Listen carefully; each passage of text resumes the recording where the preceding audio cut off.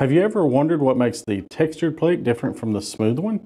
Is one simply better or does it depend on the print? Today I'm checking out the smooth plate for the very first time and I'm bringing you along with me. Hey guys, welcome back to the channel. If you're new here, my name is Jeremy and I'm diving headfirst into the world of 3D printing. I'm documenting my journey and I'm showing you all the things that I learned along the way. All right, let's jump right in. This textured plate that comes with my Bambu Lab printer has been my go-to since I bought the printer. But I've been curious on how the smooth plate stacks up.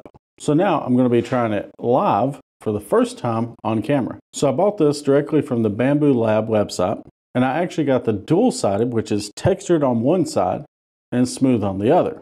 We can see that it actually has a film on it so I'm just going to go ahead and take that off.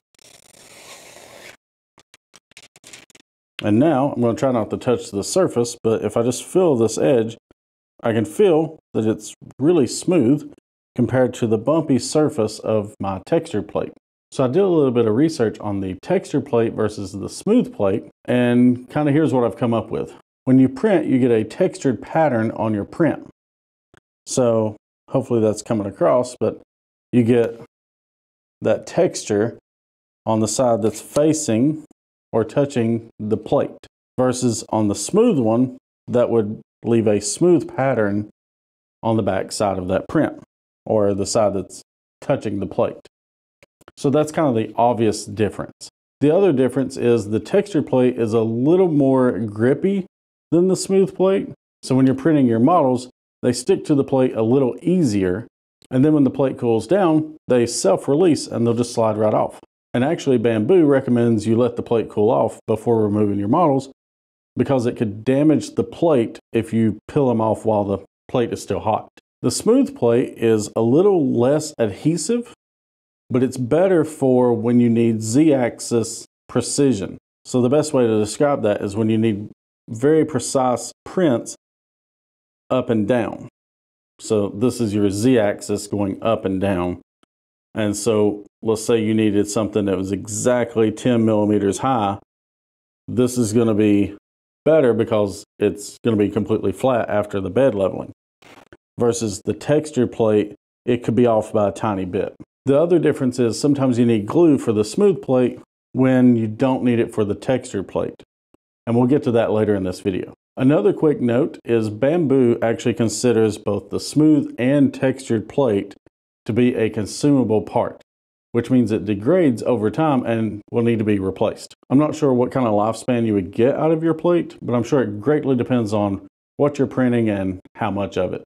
So now let's talk about should you use glue on your build plate? Well, there's actually a chart online that shows specifically which filaments to use glue for which plate. And I'm just going to throw that up on the screen. But at least for me, right now at this stage in my printing, for PLA Basic, I don't need glue on either one of these plates. I definitely plan on trying out some other filament types in the future, hopefully soon. And at that point, I'll get to try out the glue stick. So that's another experiment coming up. But for now, I'm just sticking with PLA. But while I'm on the subject of the glue, what's the point of it?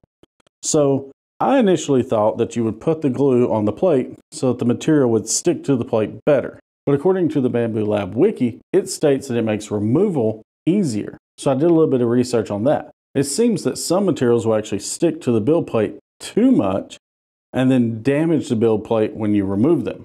So by putting the glue stick on there, you still get your adhesion, so they'll stick to your plate, but they're not so stuck that you can't peel them off. So now, enough talk, let's try the plate out.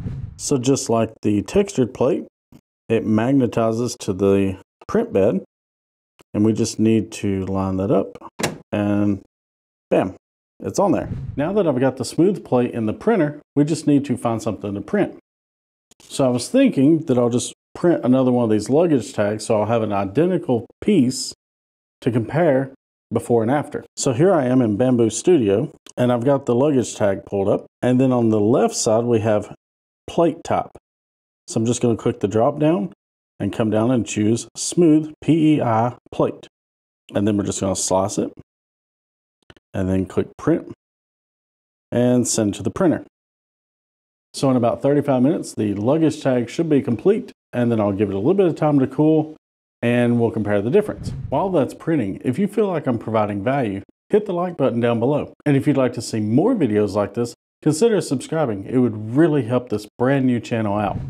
And we're back. So our luggage tag has finished printing and it's still on the smooth plate. The plate has cooled down. It's nice and cool, um, but it still hasn't released. So let's just uh, flex it just a little bit. And then, yeah, I mean, it's, it's coming loose. There we go. So yeah, it's, it's nice and smooth as opposed to the texture from the other one. If I lay that down there, maybe you can see the difference, but this is just really smooth. It It is actually, it's smoother than the top of the luggage tag because the luggage tag actually has some ridges in it. Let's see if the other one has that. Yeah, it has the ridges as well. So the actual print, like the, the top of the print is not perfectly smooth and the back of it is very smooth. So I can definitely see using this for certain projects. It worked out very well. So which plate do you think you'll use in your next project? Let me know in the comments below. I would love to know your thoughts. Thanks for watching and I'll see you in the next one.